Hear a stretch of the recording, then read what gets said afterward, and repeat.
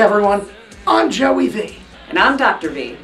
and we're here to wish you happy holidays from all of us at the B Zone. Cheers, everyone.